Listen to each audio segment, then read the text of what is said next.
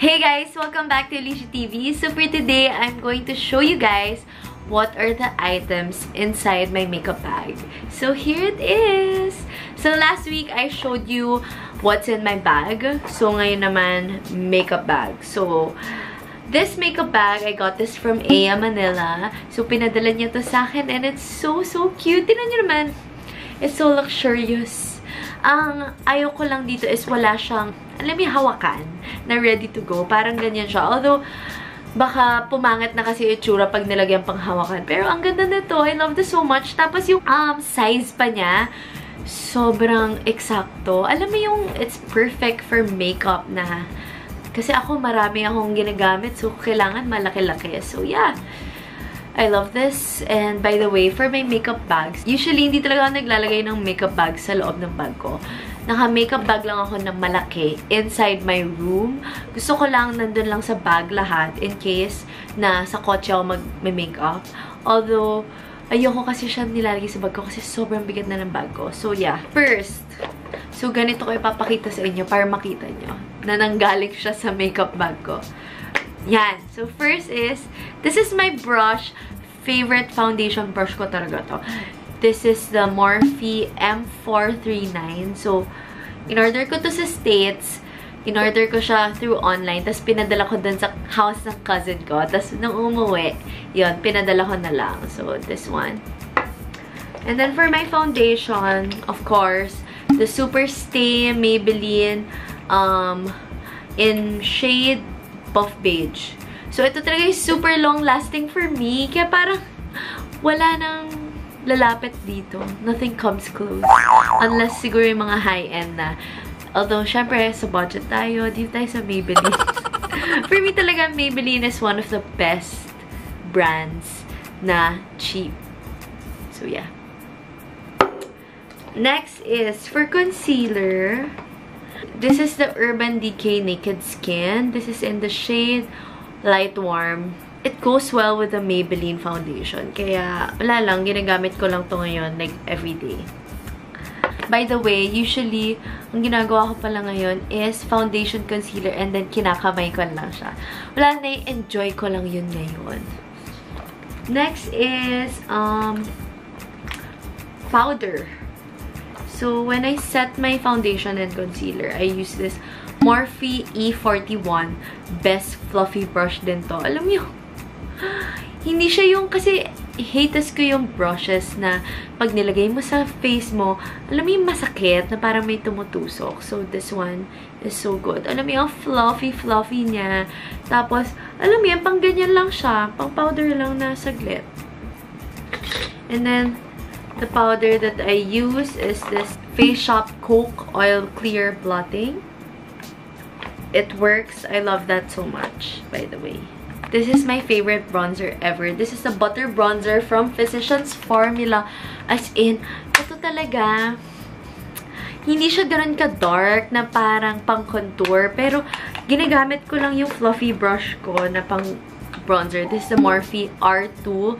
So, from their Rose Gold collection. So, malaki siya. Tapos, ginaganyan ko lang. Tapos, alam mo yun, sobrang perfect na. Na parang, hindi siya contour, but it just gives definition. Which is, I love so much. Pang everyday, ba diba? Na parang, para hindi lang flat yung face mo. Next is, after bronzer, what I do is blush and highlight na. So, this is the Jaclyn Hill Becca. Ang tagal-tagal na nito. Ko expired na to, pero whatever. Gusto ko lang siya ubusin. Kasi sayang naman, ba diba? As long as wala pa naman siyang toxic smell. well, hindi ko kayo in-encourage. This is my own choice. If expired na yung sa inyo, go. Pero for me kasi, nasasayangan ako. Gusto ko lang siya ubusin. So, yeah. So, ito siya. Highlighter and the blush. Ako talaga, important for me na iba-iba yung brushes ko. Kasi pag isang brush lang, tapos kunyari, ip, kunyari, ito, tong bronzer, ipilit mo siya ipang blush. Alam mo yun, nagkakahalo-halo na yung color. So, make sure na you have a brush for bronzer, you have a brush for blush. So, yeah, paghiwalayin nyo dapat yon So, this is my blush brush from e.l.f. Studio collection nila to. Cheap lang nito. Sobrang ganda. Pang blush. Yan o. Pang definition lang dyan. Next is the Real Techniques highlighting brush.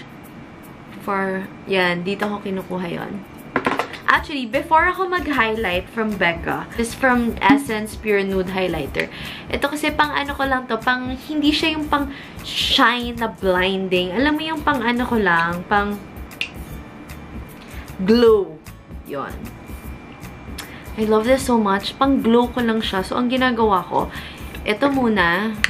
After this, I use the blinding highlighter.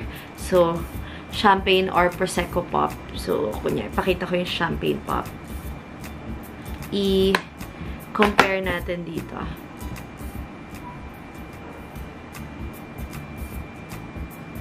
So, ito yung champagne pop. Ito yung pang-glow lang. So, alam mo yun, after mo mag-glow, dun ka magpa-blinding. So, wala lang. Gusto ko lang siya pagpatong-patungin. Next is, I have this Morphe M330 na eyeshadow brush. So, ang ginagawa ko talaga ngayon is itong sa Morphe ko, ay Morphe, sa Becca ko, this blush, ginagawa ko siyang eyeshadow. So, yeah. That or itong sa bronzer ko.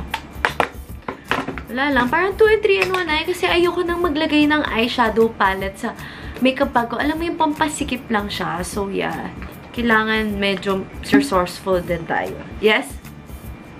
Next is, this is the BLK Long Lasting Liquid Eyeliner in the shade Brown. So, actually, hindi naman talaga ako lagi nag-eyeliner. More on mascara lang ako. Pero, nilalagay ko pa rin siya sa makeup bag ko just in case na sipagin ako. Yeah. And then, meron ako meron akong eyelash curler which is nawawala ngayon dito. So, most probably, kinuha yun ng sister ko. Any of my three sisters kasi nagkukuhaan kami. So, usually, sila lang talaga yung kumukuha sa makeup bag ko. So, yeah. Yon. So, that's from Shiseido. So, that's my um, eyelash curler. Next is this um, mascara. I use this Heroine Make Long and Curl Mascara Advanced Film ito talaga yung ginagamit ko. Kasi, alam mo yung napapataas niya talaga yung eyelashes ko na super ikli. Tapos, whole day, nakataas lang. Tapos, wala lang. Parang nakaka-fresh lang siya. Kasi iba, di ba kapag end of the day na, bumababa na yung eyelashes mo. So, yeah. I love this so, so much. Next is, this is the MAC Lip Conditioner Hydrant. So, before ako mag-lipstick, lagi ako nagli-lip balm. It's either Papaw or this one. And of course, my go-to lipstick. Ito talaga yung lipstick ko. Everyday, my go-to kapag ikakasal ako, I feel like ito yung gagawin kong lipstick. It's what I'm wearing right now. Ito talaga yung long-lasting kahit kumain ka, kahit the whole day, umaga hanggang gabi, it will stay. I promise. The best. Okay, so lastly, the last item here So, wala na siya. So, this is from Swiss program Collagex Premier. So, serum mist siya. Ginagamit ko to pang set. So, parang siyang um, skincare pero ginagawa ko siya pang makeup. Kasi parang parang mas healthy. Parang feel ko mas healthy siya kapag skincare yung ginagamit mo. I love this. Pero, huwag kang hihinga kapag after ng spray. Kasi medyo may amoy something siya na parang pumapasok sa ilong mo. So, yeah. Yun lang yung pinakareklamo ko dito. So, yeah, that's everything. So, I hope may nagustuhan kayo sa mga makeup products ko sa aking makeup bag. So, I hope you enjoyed this video. Comment down below what you think and give this video a thumbs up if you like it. I hope to see you guys soon. Bye!